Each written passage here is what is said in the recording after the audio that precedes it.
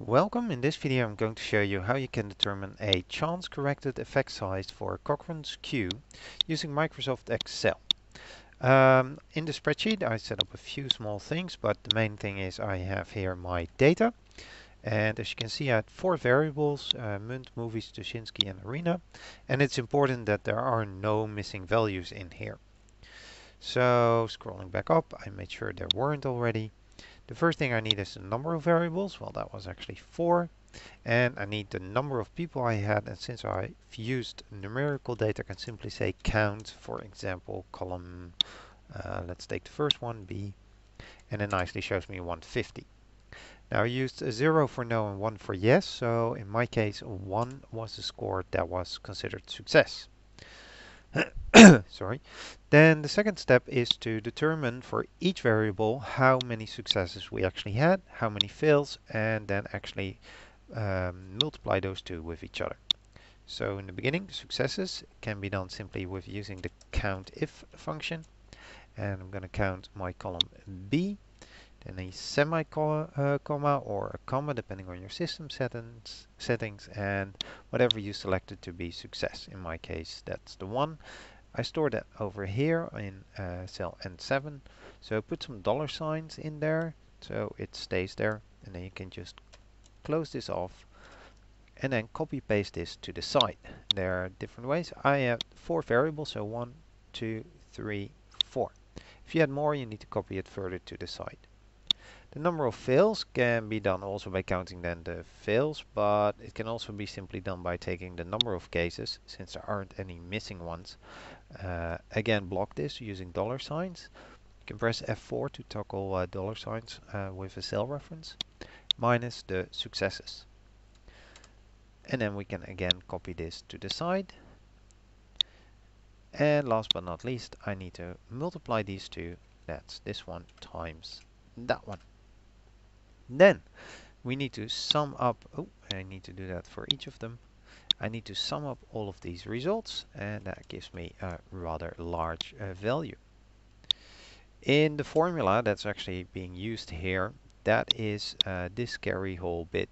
This actually says to look at each case one by one and compare it uh, for each variable, uh, compare how it scored with the others. I've done that actually up here just to make sure and there's a very tricky formula there. It's very long. Uh, if you're really interested uh, you can pause the video and have a look at why this is actually working. Uh, but more importantly I've done so for all the way. And if you look closely down here it will say 21,044 being the sum. And therefore if I go back to uh, what we were doing and scroll up and you see that's exactly the same result so this saves quite, uh, doing it this way actually saves you that big formula. Then we need to look into something that is looking scary like this. This negative exponent is actually simply meaning 1 divided by.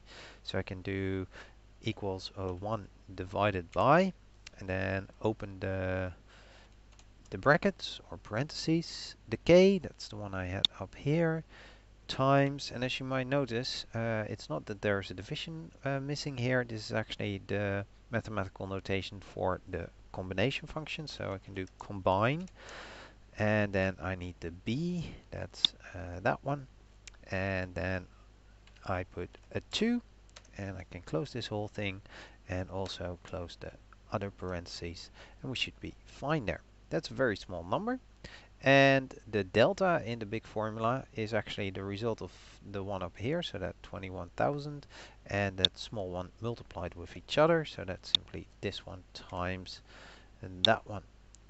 That takes care of delta. Then we need to go into mu, uh, which actually is to first determine the proportion of success for each case. So I'm going back up here and then scroll a little bit to the left.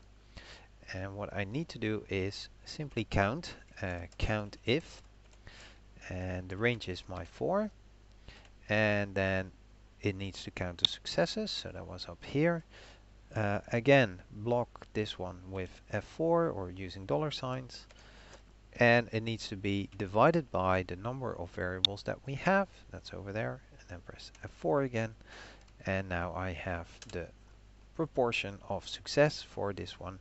You can copy paste this all the way down. You can also, if you have the cell selected, the lower right corner, the mouse icon will turn into a little plus. plus, double click and it will simply copy paste everything down. Then the next step uh, is over here. We need to do that result from just now and multiply it by 1 minus that result. So I'm going to do that in here.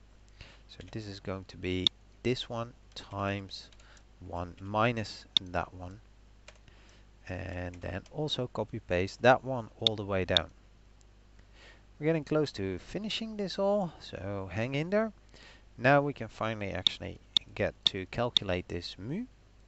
And as you can see there are three things here. The first one is actually the sum of that first column we just did. So that's the sum of, in my case, column F.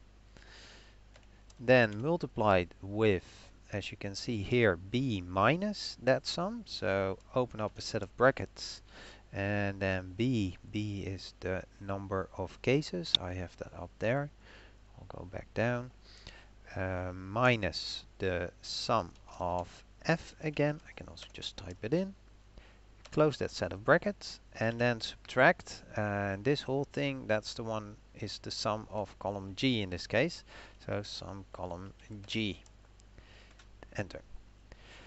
Then finally we get to mu, and mu is actually what we just did, but then multiplied by this in front of it. So what I can do is simply equals 2 divided by, open up a set of parentheses, I need the b, the b was all the way up here, and then the b uh, gets multiplied by, so times, and then uh, the b again, so that was n6, and then minus 1 so minus 1 close the parentheses close it again and then multiply everything with that other factor we just had over there. And then last but not least we can finally determine that effect size. That's 1 over that delta over mu.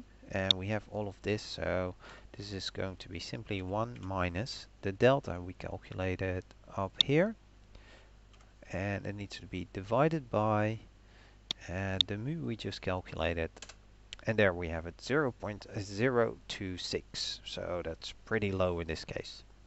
I also actually wrote a uh, user-defined function for this. So as you can see here's the same result. Use CCES so you don't have this function.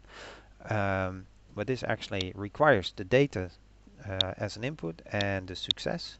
And then it actually calculates it in one go for you uh, I will put this file somewhere on uh, in the description. If you want, you can download it and then use this uh, function and you don't have to do all these steps. But make sure your data then doesn't have any missing values. So if you copy paste your data, remove it first. Select the data. Uh, select the data specifically, so not entire columns. So just really from cell B3, for example, to E152 or whichever is your last cell. Okay, I hope uh, this video was helpful. The source of these formulas and everything was actually coming from here. I hope I interpreted, interpreted them correctly.